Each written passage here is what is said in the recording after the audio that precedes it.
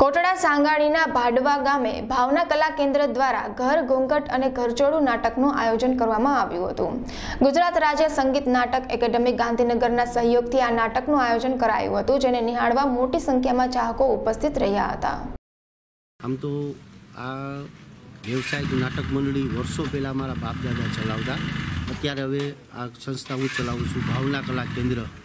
મારું નામ જીતેન્દ્રભાઈ જાની અને આ કલા હવે બિલકુલ અસ્ત થતી જાય છે. પણ સરકારશ્રીનો ખાસ કરીને આપણે ગુજરાત રાજ્ય સંગીત નાટક અકાદમીનો અમે બે હાજરી ખરેખર ખૂબ ખૂબ આભાર માનીએ છીએ કે જેને અમને આ નાટક ફાળવી આપ્યા, દિગ્દર્શક તરીકે મારી પસંદગી કરવામાં આવી.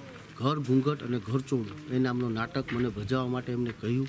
તો હું એમનો ખરા હૃદયપૂર્વક આભાર માનું છું કે આ કલાને જીવંત રાખવા માટે ગુજરાત રાજ્ય સંગીત નાટક અકાદમી તરફથી અમને આ પાંચ ગામની અંદર પાંચ નાટકો ભજવવા માટે અમે આવ્યા છીએ.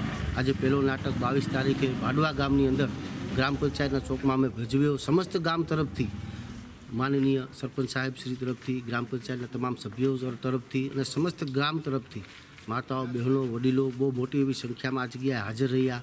અમારું નાટક નિહાળ્યો. એ બદલ એમનો ખૂબ ખૂબ આભાર.